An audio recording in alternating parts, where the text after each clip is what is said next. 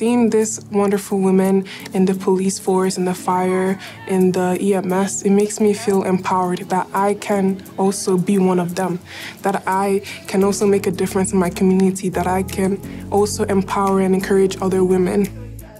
I just thought it was so incredible, all the things I got to experience and everything I got to do. Handcuffing for police, suturing, staples, stitches, CPR for EMS, and a lot of cool things for fire. There's a lot of fitness, and I just thought it was amazing.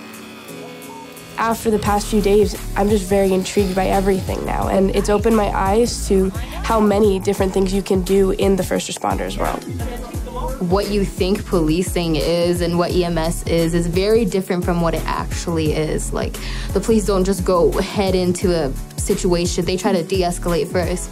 That was a life skill that they taught us, along with the mental health stuff that we learned. Like, taking care of yourself early on, knowing to take care of yourself, it's a life skill.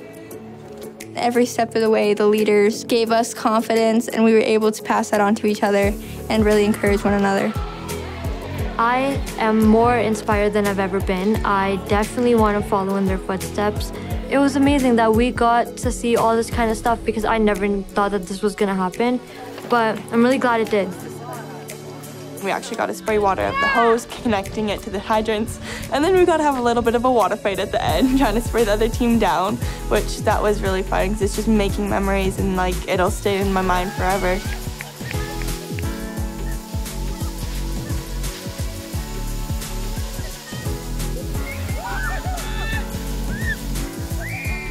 Other instructors we have met have also been in like hazmat or like stuff that involves the science part of it.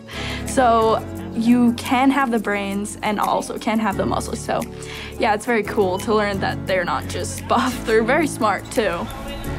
I really enjoyed how physical it was. So it was awesome to just keep going, going, going and actually like feel how physical it would be in a day for them.